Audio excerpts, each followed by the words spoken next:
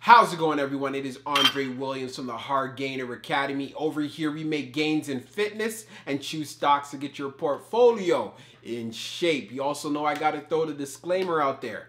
I am not a financial advisor and this is not financial advice. So just know when you do invest, you're doing it at your own risk. Today's Tuesday, so you know what time it is. It is the joke of the day. All right, so here it comes.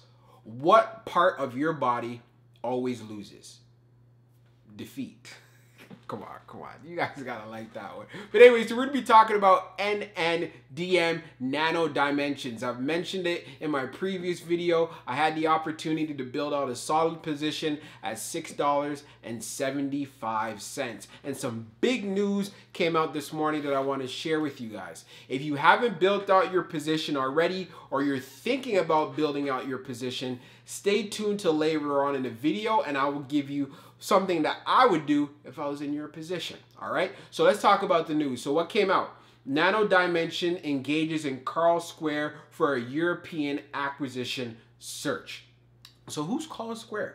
So, Carlsquare is an investment bank with offices in Berlin, Copenhagen, Hamburg, London, Munich, and Stockholm. Carlsquare supports companies and their shareholders to assist in implementing their merger and acquisition goals. So how's the CEO feeling about this? Why is he making this decision? Let's go over it. All right, so the CEO, Mr. Yoff Stern, Mr. Yohoff Stern, I hope I didn't butcher your name. So our merger and acquisition search over the last two quarters has evolved as we have expanded its geographical footprint. We are now focusing on two kinds of acquisition targets. One will dramatically expand our go-to-market channels and give us exposure to vertical markets while the other targets include a set of companies that have transformative technologies and products that are complementary to our product roadmap. So here's the thing. NNDM is sitting on a lot of cash. If you've been around as long as I have been around, they have done numerous offerings. And every single time they've done an offering, the stock has gone up. So this is part of the reasons why you should be super excited about this if you're interested in this company. All right. So we left off at the roadmap. All right. So the present ambiguity of the special purpose public acquisition vehicles, especially in the US market, is causing price surges of certain targets. Hence, we are using the opportunity to filter out valuations that don't fit our business model. So they want to make sure that, you know what, they don't get no outrageous type of valuations while working with a US company, just for the sense because every time SPACs tend to come out, they get valued super high. There's a lot of speculation, a lot of news around them. They're just trying to go about this thing the right way that is sustainable and will help them long term. All right. So now, since we have strong cash reserves, we are accelerating our technology and product development forward beyond the plans of mid 2020. I am confident that with the help of our investment banking partners, we will expedite, expedite the merger and acquisition process to synergistically support our growth plans. I'm excited. I don't know. I don't know how you're feeling right now, but this is huge. We actually saw this in regards to the stock price and the price action that was going on. So she was literally low in that $13 range. And then literally in after hours, she's now at $15. It wasn't too long ago where she took a dip into that 12 range, recovered, got into 14, took a dip today, got into that 14 area, right? And then boom, straight up to 15s. So one of the things that I want to talk about is ARK Invest, right? One thing about ARK, a lot of people are bringing this to my attention as well, and I also get emails from them. They're like, so Dre, what do you think about ARK Invest aka Cathie Woods, who killed it in year 2020. Like, how do you feel about them selling shares? Like, does that mean that they don't believe in them anymore? Is there something we need to be worried about and stuff like that? You shouldn't be worried about anything. So, like, ARK Invest is just literally trying to balance their portfolios. They only can earn a certain, sorry, they only can earn, they only can have a certain percentage of that particular stock in their portfolio. So when the value's going up or when the price is going up, right?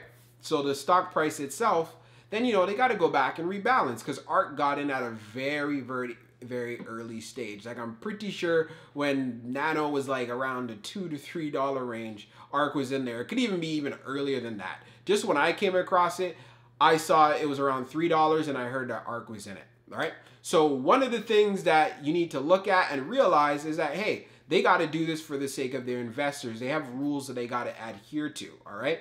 So that is no reason to be concerned or worried about it because still ARK still has a big sizable position already inside of NNDM. I'll also be putting up a screenshot so you guys can see that for yourselves that they have sold some shares, but they're still holding a lot as well. So now, like I promised you guys in the early portion of this video, what do you do if you haven't built out a position or if you currently have a position already, but you want to build it out even further? So if you don't have a position, I would say it would be a good idea to wait until after February the 15th. Like I said in my previous video, they're going to be having a vote, and that vote is going to be on an offering, right? So they want to double, right? So I think it's about one 1.25 billion dollar offering, right? So they want to pretty much expand some more shares and stuff like that. So when things like this happen, the stock price tends to go down. So if you haven't built out a position already, you could just say, well, you know what? I'm going to wait it out. I'm going to stay patient and see what happens after the 15th. Another thing that you can do as well, you could just add slowly currently when it hits, let's say, the 13 range, or possibly if it hits 12 before the 15th. Like I said, does it have the KLTs? If you know the company, so you did your due diligence, right? if you like the company because you like what they have going forward and you trust that they're going to bring the company in the right direction, which will actually be helpful for you in regards to being bringing a big return on your portfolio, then consider it. So now, if you already have shares in NNDM and you have a really good cost average, so if you have a cost average like myself at $6.75, then yes, you can consider adding. But I wouldn't consider adding until that decision comes to an end after the 15th. Why? Because if the price goes down, then you can get those shares a lot cheaper, right? It makes more sense to do it that way. Is it possible that the stock could run up further before then? Of course it can. I can't promise that it won't. Can't promise that it will, right? These are one of these things we have no control over. But the stock price will be affected if that offering gets approved on the 15th. That's what I want you guys to realize and understand, all right? But again, if the stock already has those KLTs, then you know what? In most cases, value comes down to the individual. So you decide, hey, what do I feel like I want to get in at? And what do I feel like, hey, you know what? I really like this company. I just want to make sure I got some skin in the game. Again, that's going to come down to you, all right? Hope you found this video helpful, and I'll be talking to you guys tomorrow. Peace out.